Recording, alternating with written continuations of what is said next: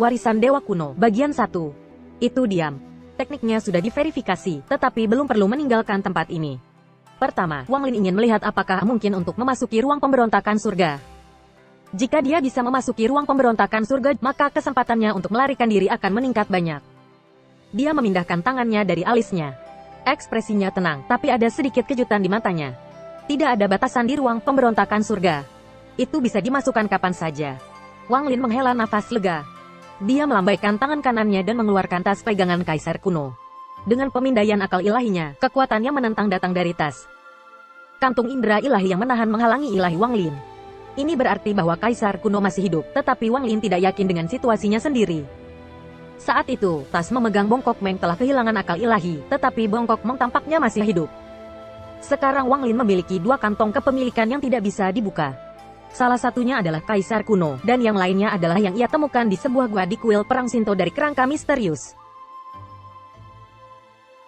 Kedua tas memegang masih memegang rasa ilahi dari tuan sebelumnya. Dengan itu di sana, Wang Lin tidak bisa mengakses tas. Wang Lin tidak terburu-buru, dia menyentuh tas memegang dan mengelilinginya dengan akal ilahi sendiri untuk mencegah Kaisar kuno merasakannya. Setelah selesai, dia mengambil napas dalam-dalam dan melesat seperti panah ke kejauhan. Sasarannya adalah laut pengetahuan Dewa Kuno. Bagaimanapun, dia menerima sepotong batu giok untuk membuat bendera pembatasan, dan bahan yang diperlukan untuk membuatnya berada di dalam laut pengetahuan. Setelah berlari cepat melalui ruang ini yang tidak memiliki perbedaan antara bumi dan langit, Wang Lin masih tidak bisa melihat ujung langit. Dia ingat bahwa Duan Mudan yang lainnya mengatakan bahwa tubuh Dewa Kuno sangat besar. Dewa Kuno yang matang lebih besar dari seluruh bintang Suzaku. Bahkan hanya bepergian antara dua pembuluh darah, jaraknya tidak terbayangkan. Meskipun wilayah itu luas, tidak ada kehidupan atau batasan, hanya keheningan. Wang Lin tidak berhenti dan terus maju. Dalam tubuh dewa kuno, tidak ada batasan pada indera ilahi seseorang, sama seperti dunia luar. Jiwa Wang Lin menerima banyak makanan di dunia ketiga, terutama jiwa besar yang hampir menjadi peminat jiwa, yang memungkinkan jiwa Wang Lin tumbuh dengan cepat. Ketika dia menyebarkan indera ilahi, itu bisa membentang ribuan mil. Sebagai hasilnya, dia melacak sekelilingnya dengan indera ilahi sementara dia terbang ke depan. Setelah waktu yang lama, Wang Lin berhenti dengan ekspresi kaget saat dia menatap ke kejauhan. Linki di tubuhnya mulai menjadi ganas, seolah-olah ada kekuatan misterius dan menariknya, menyebabkan Linkinya berada dalam keadaan bersemangat. Tak lama setelah itu, dengan indera ilahi, ia mendeteksi gelombang ki biru tua bergulir dari kejauhan.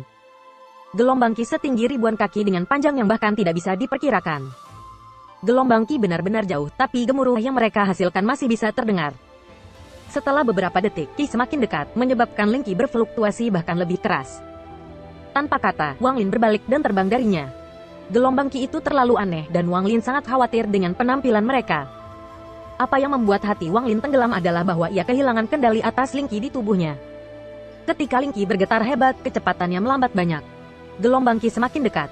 Deru membuatnya terdengar seperti tepat di belakang Wang Lin. Wang Lin terkejut, tapi matanya tetap tenang. Dia tahu dia tidak akan bisa lepas dari gelombang ki pada waktunya, jadi dia mengarahkan tangan kanannya ke alisnya, dan manik-manik surga berputar keluar. Tubuh Wang Lin dengan cepat mulai memudar sebelum menghilang sepenuhnya. Setelah sekitar 10 napas, gelombang ki meraung melewati tempat Wang Lin menghilang, dan menghilang ke kejauhan. Setelah beberapa saat, gambar Wang Lin secara bertahap mulai muncul, sampai ia menjadi nyata kembali. Dia menatap gelombang ki yang lewat untuk waktu yang lama, merenungkan apa yang baru saja dia saksikan. Setelah menatap sebentar, dia terus terbang ke depan. Six Desire Devilord muncul dalam jarak seribu kaki dari pintu keluar dunia ketiga. Lampu merah darah memudar di sekitarnya, mengungkapkan wajah pahit dan kurus. Di tangannya, dia memegang kerangka yang tidak memiliki lengan. Ada bintik-bintik kemas di kerangka itu, melepaskan sinar kecil cahaya keemasan. Sebagian besar daging di tubuhnya hilang dalam perjuangan melawan jiwa-jiwa yang berkeliaran. Yuan Yin-nya berada di ambang kehancuran. Ada banyak jiwa pengembara di tubuhnya. Ketika mereka menyerang, stamina Six Desire Devilord turun cukup sedikit. Sekarang, dia bahkan tidak punya energi untuk mengaktifkan teknik Blood Desire Escape lagi. Dia hanya bisa diam-diam menunggu jiwa-jiwa pengembara untuk menghabisinya, atau agar tuannya menangkapnya. Dalam hatinya, dia benar-benar berharap tuannya bisa mengejar sebelum jiwa-jiwa pengembara menghabisinya, bahkan jika itu berarti berubah menjadi iblis. Dia lebih suka mempertahankan hidupnya. Sayangnya, keinginannya ini akan sangat sulit untuk dicapai, karena pada saat itu, garis pertahanan terakhir Yuan Yingnya runtuh dalam sekejap dari serangan jiwa yang berkeliaran, memperlihatkan jiwa Zifunya. Jiwa yang berkeliaran mengungkapkan ekspresi rakus dan menumpuk ke depan. Six Desire Devil Lord oh, tidak berdaya saat ini, tetapi kerangka di dalam dirinya melepaskan cahaya keemasan. Sejumlah besar cahaya keemasan datang dari kerangka dan mengelilingi enam Desire Devil Lord. Oh, Segera, jiwa-jiwa pengembara yang menerkamnya mulai menjerit dan dengan cepat meninggalkan tubuhnya untuk melarikan diri dari cahaya keemasan. Enam Desire Iblis Lord melongo melihat apa yang baru saja terjadi di depannya. Setelah jiwa-jiwa pengembara pergi, dia dengan cepat mengambil kendali atas tubuhnya lagi. Dia mengungkapkan ekspresi bersemangat saat dia menatap kerangka di tangannya. Dia merasa seperti baru saja lolos dari kematian. Tetapi segera setelah itu, dia sangat curiga, tetapi saat ini bukan saatnya untuk merenungkannya. Semua jiwa yang berkeliaran di sekitarnya mulai mundur, seolah-olah mereka takut akan cahaya keemasan. Six Desire Devil Lord adalah pria yang menentukan. Saat dia menyadari hal ini, dia menyingkirkan perasaan curiga di dalam hatinya dan menuju keluar dari dunia ketiga. Keretakan besar di dekat pintu keluar sudah ditutup. Tanpa halangan dari jiwa-jiwa pengembara, ia segera tiba di pintu keluar dan melangkah ke pusaran air. Dia merasa sangat lega pada saat itu. Ranah ketiga terlalu menakutkan. Jika dia bisa melarikan diri dari sini, dia bersumpah untuk tidak pernah kembali. Ketika dia datang ke sini untuk pertama kalinya seribu tahun yang lalu, meskipun dia juga telah mencapai ranah ketiga, itu tidak aneh. Kebangkitan tuannya, Bongkok Mong berubah menjadi iblis, dan serangkaian peristiwa menciptakan kabut kebingungan di dalam hatinya. Kabut ini hanya menyebar dan membuatnya sangat gugup. Dia ada di dalam pusaran air. Saat kilat ungu turun, dia melambaikan tangannya dan melakukan serangkaian teknik tangan. Setelah dia selesai, Yuan Yingnya menyusut dalam jumlah besar. Warna di matanya banyak tumpul. Teknik itu mendarat di kerangka di tangannya. Cahaya keemasan bersinar lebih terang ketika tulang mulai retak sebelum meledak menjadi debu dan mulai menyebar ke segala arah. Di tengah awan abu ada bintik cahaya keemasan yang tak terhitung jumlahnya. Enam desire iblis lord melambaikan kedua tangannya, membuat abu berserakan ketika bintik-bintik kemas berkumpul untuk membentuk tulang lengan emas mengkilap. Namun, pada tulang lengan ini, hanya ada empat setengah jari. Setengah dari jari manis hilang. Saat tulang lengan muncul, garis-garis ungu petir yang tak terhitung jumlahnya di pusaran air berhenti di tempat mereka berada, sama sekali tidak bergerak. Six Desire Devil Lord bahkan tidak terlihat ketika dia mengambil lengan yang hampir lengkap dan meludahkan seteguk lingki. Lingki dengan cepat diserap oleh lengan. Setelah itu, enam iblis Desire Lord mulai membentuk set segel tangan dengan lengan.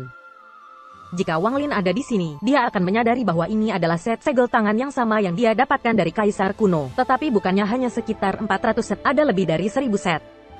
Ribuan segel tangan plus ini semua dilakukan oleh lengan ini. Segera, pusaran air tiba-tiba muncul di hadapannya. Mata enam keinginan iblis Lord menyala.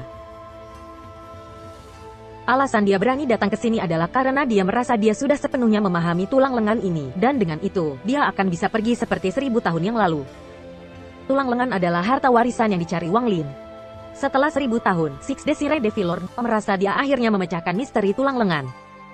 Dia khawatir itu akan dicuri, atau sesuatu yang tidak terduga akan terjadi, jadi dia dengan susah payah memasukkan harta warisan ke seorang murid. Tidak seorang pun akan bermimpi bahwa harta warisan tidak ada di tasnya, tetapi di masa muda mengikutinya. Berkat koneksi yang dia miliki dengan tulang, dia bisa menggunakannya kapan saja, jadi itu aman. Juga, tulang lengan adalah harta warisan dari tanah dewa kuno, jadi tidak ada batas yang ditempatkan di sana. Dengan demikian, muridnya dapat memasuki tanah dewa kuno tanpa masalah. Setelah membentuk segel tangan terakhir, dia memutuskan bahwa dia tidak akan pernah kembali ke tempat yang aneh ini lagi. Tapi tepat saat dia merasa percaya diri dan melangkah ke pusaran air, tiba-tiba itu runtuh tepat di depannya dan menghilang. Enam desire iblis lord tertegun untuk sementara waktu, tetapi pada saat yang sama, petir ungu yang membeku di udara turun dan memukulnya, menyebabkan dia menghilang dari jalan keluar dari dunia ketiga. Setelah dia menghilang, magisian iblis langit muncul. Dia mengungkapkan senyum aneh dan berkata, muridku yang baik, kamu harus berhasil sehingga kamu tidak menyia-nyiakan usaha tuanmu untuk membuka rahasia lengan untuk menyelamatkanmu dari jiwa-jiwa yang berkeliaran dan menghentikanmu dari pergi. Seluruh tubuh Wang Li seperti kilat. Dia dengan cepat terbang melalui daerah di luar laut Kidewa kuno, namun arahnya telah berubah. Alih-alih bergerak maju, dia sekarang naik. Dia tidak tahu berapa lama dia terbang. Lingkungannya persis sama seperti sebelumnya.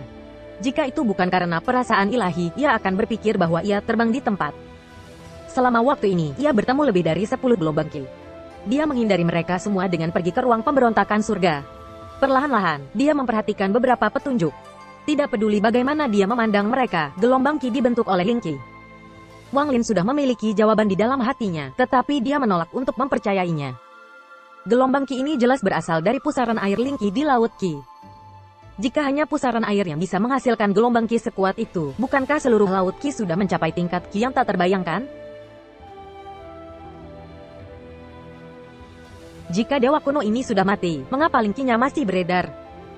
Selain itu, Wang Lin memperhatikan bahwa ketika ia terbang ke depan, gelombang fluktuasi yang menyebabkan suasana hatinya berubah datang dari semua sisi. Gelombang ini, bagaimanapun, menyebabkan Wang Lin tidak membahayakan. Itu hanya sedikit, tetapi mereka meningkatkan kewaspadaan Wang Lin. Dia memeriksa lokasi Laut Qi-nya sendiri untuk referensi. Di atas Laut Qi adalah Progenitor Point, dan di dalamnya ada lautan pengetahuan Zipu.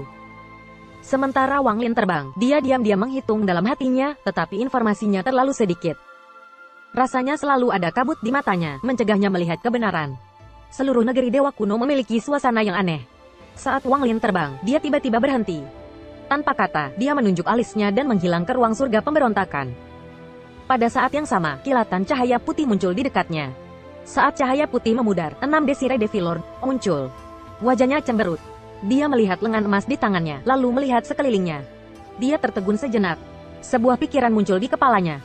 Dia melihat sekelilingnya lagi dan ekspresinya tiba-tiba berubah, memperlihatkan ekspresi ekstasi. Ini, dewa kuno ini jelas sudah mati, tetapi tempat ini masih memiliki fluktuasi keinginan yang kuat. Mata enam keinginan Iblis Lord menjadi lebih cerah dan lebih cerah. Dia bisa merasakan fluktuasi datang dari semua sisi. Fluktuasi ini baginya jelas semua jenis keinginan. Sebuah pikiran melintas di benaknya. Dia membentuk segel dengan tangan kanannya, melemparkan mantra ke udara. Ki hitam seperti ular tipis muncul di hadapannya dan terbang menjauh, menuju ke kejauhan. Mata Six Desire Devilor bersinar. Dia membuka mulutnya dan mengisap udara. Cahaya hitam langsung berbalik dan tersedot juga. Wajah Six Desire Devilor sekali lagi mengungkapkan ekspresi ekstasi. Dia bisa dengan jelas merasakan bahwa dari menyerap jajak keinginan itu, dia telah memulihkan semua Yuan Yin yang telah hilang dari jiwa-jiwa yang berkeliaran. Six Desire Devil Lord, tanpa mengucapkan sepatah kata pun, memindai area dengan indera ilahi dan menemukan tidak ada yang abnormal. Dia segera membuka lengannya, kedua lengan membentuk segel yang berbeda, sementara dia duduk bersila. Dia berteriak takut keinginan, datang. Saat kata-kata itu keluar dari mulutnya, ketika dia membentuk segel dengan tangannya, ki hitam muncul di sekelilingnya. Semua ki hitam dibebankan ke Six Desire Devil Lord. Oh, perlahan-lahan, Ekspresinya menjadi lebih dan lebih percaya diri. Dia mengungkapkan sedikit kejutan di wajahnya. Dia dapat dengan jelas merasakan bahwa keinginan takut dalam tubuh dewa kuno lebih besar dari yang dia bayangkan, jauh di atas harapannya. Waktu perlahan berlalu. Dari seratus ribu kaki jauhnya, magisian iblis langit mengungkapkan ekspresi bersemangat saat dia melihat ke arah enam Desire Devil Lord. Oh! Dia bergumam pada dirinya sendiri. Serap, muridku yang baik, teruslah menyerap. Untuk rencana tuanku, kamu harus menunjukkan kinerja yang bagus. Dia tersenyum aneh. Kedua tangannya saling bersilangan, menyebabkan cahaya biru dengan cepat menyebar ke segala arah, langsung menutupi segala sesuatu dalam jarak satu mil. Setelah dia selesai, sebuah pikiran melintas di kepalanya. Senyumnya semakin lebar. Dia berpikir, murid yang baik. Saat itu, perhitungan guru kamu benar. Sifat gila kamu akan menjadi dinding yang menghalangi jalur kultivasi kamu. Tetapi melihat sekarang, sifat gila kamu ini akan membantu rencana orang tua ini akhirnya berhasil. Waktu perlahan berlalu. Kabut hitam tak berujung menutupi daerah dengan radius satu mil sekarang. Jika bukan karena Sky Devil Magician mencegahnya, kabut hitam akan terus menyebar. Setelah jumlah waktu yang tidak diketahui, kabut blok memudar. Six Desire Devilor mengungkapkan cahaya yang gila. Kultivasinya telah mencapai tingkat yang luar biasa. Keserakahan keinginan, ayo. Dia berteriak kalimat lain. Tidak lama kemudian, kabut merah tiba-tiba muncul sampai menutupi radius satu mil di sekelilingnya. Setelah itu, hasrat ras, hasrat kesenangan, hasrat cemburu, keinginan obsesi, dan sejenisnya semuanya dilahap oleh enam Desire Devil Lord. Oh, apa yang dikatakan tuannya, penyihir iblis langit benar, kelemahan terbesarnya adalah keinginannya untuk meningkatkan kultivasinya. Jika diberi kesempatan untuk meningkatkan kultivasinya, ia benar-benar tidak akan menyerah.